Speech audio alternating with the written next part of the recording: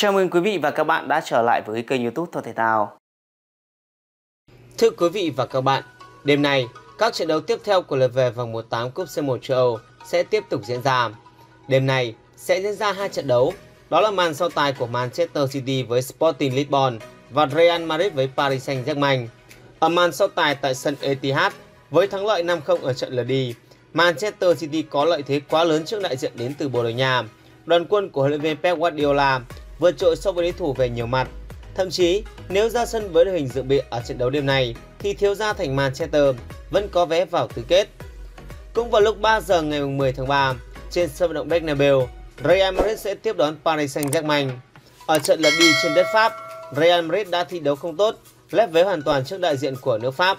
Do Paris Saint-Germain phung phí cơ hội, nếu không, đại diện của Tây Ban Nha đã thua nhiều hơn với tỷ số 0-1.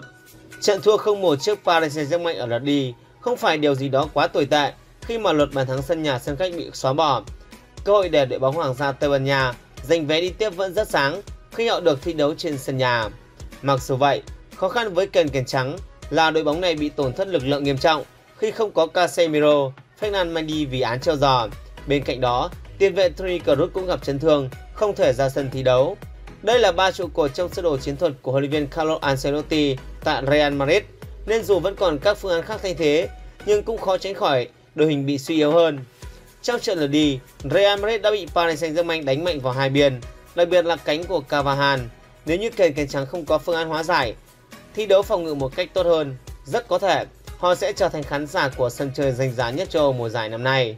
Hai trận đấu giữa Manchester City với Sporting Lisbon và Real Madrid với Paris Saint-Germain diễn ra vào lúc 3 giờ ngày 10 tháng 3.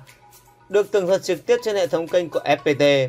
Cảm ơn quý vị và các bạn đã xem video. Quý vị và các bạn có đánh giá gì về những tin tức của ngày hôm nay? Hãy để lại ý kiến của mình phía dưới phần bình luận. Quý vị có thể đăng ký kênh để cập nhật lịch thi đấu, kết quả bóng đá, bảng xếp hạng bóng đá và tin tức bóng đá mới nhất được cập nhật liên tục hàng ngày. Xin chào và hẹn gặp lại những video tiếp theo.